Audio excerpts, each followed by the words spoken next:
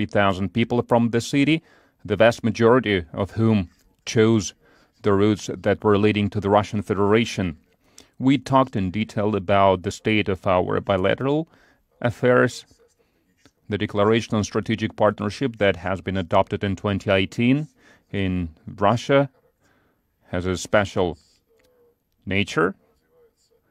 We working actively on cooperation among departments and ministries. We work actively on reaching implement, implementing agreements reached during the state visit of President Putin to United Arab Emirates in October of 2019, and uh, that were achieved during later contacts of our leaders.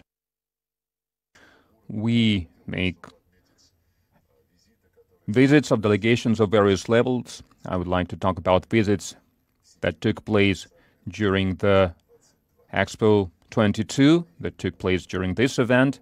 Dubai became a place where our contacts took place, including the visits of the head of the government of the Russian Federation, Mr. Mikhail Mishustin. Also in December, there was an unofficial visit to the United Arab Emirates by the head of the Federation Council, Ms. Valentina Matviyenko. We are developing trade and economic ties as well. We have managed to increase the trade turnover, and in the last year, it was almost $5.5 billion,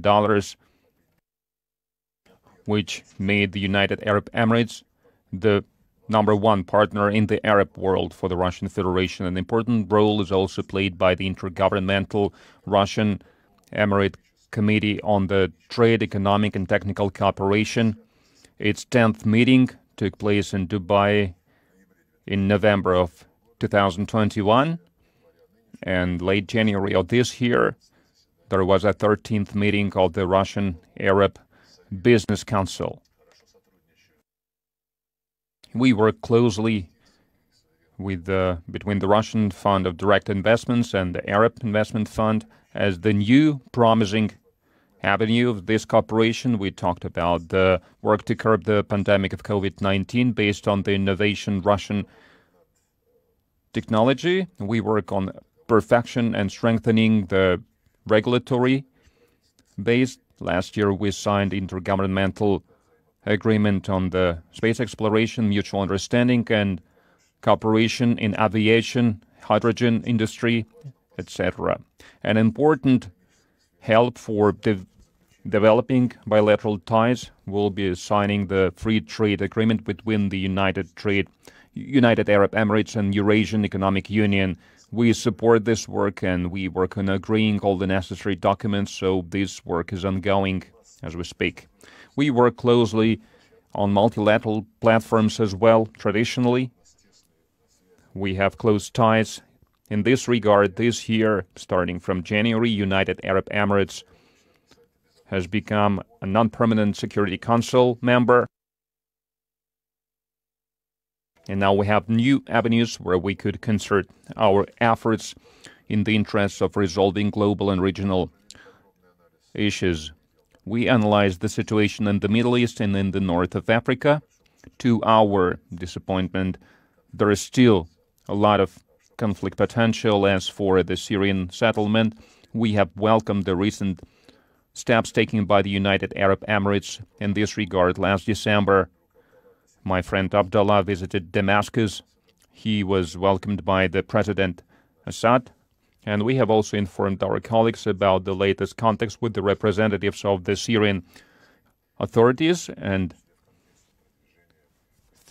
Syrian opposition and our work regarding the constitutional reform via Geneva process that is going to be completed at the end of the month as one of the priority goals that we have is uh, helping Syrians regarding the humanitarian situation and helping them with restoration of the destroyed infrastructure in accordance with the resolution 2585 that was adopted last July by the UN Security Council. And we are also convinced that we need to mobilize our efforts about bringing Syria back to the League of Arab States as for Libya, what is happening there now, these protests there needs a lot of attention as well. We have reaffirmed our mutual desire and willingness to help Libya to stabilize the situation via promotion of political process, about holding elections within sensible timeline, and of course we need to provide the participation of all the influential political forces that exist that stand for keeping unity, territorial integrity, and sovereignty of the Libyan state. And we think that the problems that arise because of the adoption by the parliament, endorsing by the parliament of the new head of state must be resolved via negotiations, via looking for compromise. We are concerned because of the situation in Yemen. And uh, the hostilities might, might spill over to the adjacent countries. We condemned the attack against civilian infrastructure in this area. We think that this Yemeni conflict can have no military resolution, and we need to continue working on starting a dialogue between warring parties based on considering the opinions of all the leading political forces in the region. And in this regard, we have also drawn attention to the difficult economic situation, dire social situation in the country, and we have underscored the necessity to mobilize efforts in this regard by the special envoy of the Secretary General of the UN. We have also talked about the situation in Sudan. We have positively assessed the efforts by the Supreme Sovereign Council on promoting the political process in the country with the aim to hold general elections in a and once again we have drawn the attention of our friends to the Russian concept of the collective security in the Persian Gulf. We have updated this concept last year. We held expert consultations with a number of countries from the region, including United Arab Emirates, and we have agreed to continue working this, on this matter with experts by creating conditions that will allow us to bring this process further from consultations with experts to the negotiations with the government. Obviously, behind all these important processes, we shouldn't and we have no right to forget about the Palestine problem. If we talk about the Middle Eastern settlement, we see no progress. On the other hand, new problems arise, and we have reaffirmed our stance to resume direct Israeli Palestine talks with the consideration of the international legislation that has been created around this situation, considering the Arab Peaceful Initiative and also considering the important role by the international mediators that should work actively in close coordination with the League of the Arab States. I'm sincerely grateful for my counterpart for the work that has been done today, and I would like to give him the floor now.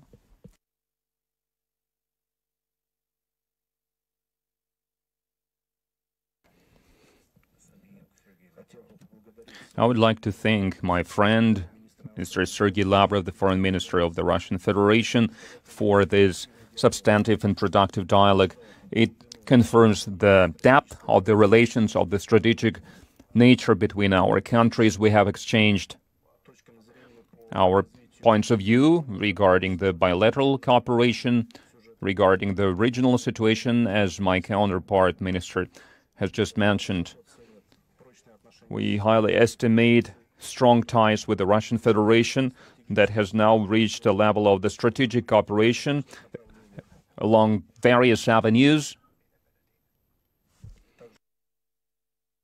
We also would like to say that recently we celebrated 50th anniversary of establishment of diplomatic relations between our countries. We can see a lot of progress along various avenues in the interest of both our countries that should help us to develop further. We talked about the new aspects of the crisis in Ukraine, including the efforts made to have the political settlement of the protests. In this regard, UAE welcomes all the efforts on mediating from all the active international actors to bring the positions of both countries closer and to achieve peace in the regional and international platforms. We have reaffirmed the need to mobilize the efforts to look for humanitarian solutions and to provide humanitarian aid to everyone in need with no exceptions made.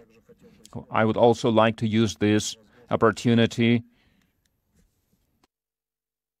to underscore that the UAE confident that the parties can find the common ground and to find solutions that will satisfy everyone. In this regard, UAE is ready to provide all necessary help to the parties to bring down the suffering and to bring the peaceful resolution closer. We hope that in the near future we will be able to achieve the ceasefire agreement. We also talked about the matters of the international energy security, climate security, and we also talked about the topic of stable supply of the energy carriers. We should pay a lot of attention to the food security on the global scale. A lot of countries, a lot of states have urgent need of supplies of essential commodities, including grains. United Arab Emirates will always be supporting any fair judgment regarding these matters, and along with various international institutions like the UN, we will try to achieve stability in our region and other regions of the world. Once again, I would like to thank my, my friend, Mr. Sergei Lavrov, for the hospitality, for warm welcome, and for the chance to exchange opinions on topics of mutual interest. Minister, hopefully we will be able to meet soon in the Emirates. Thank you.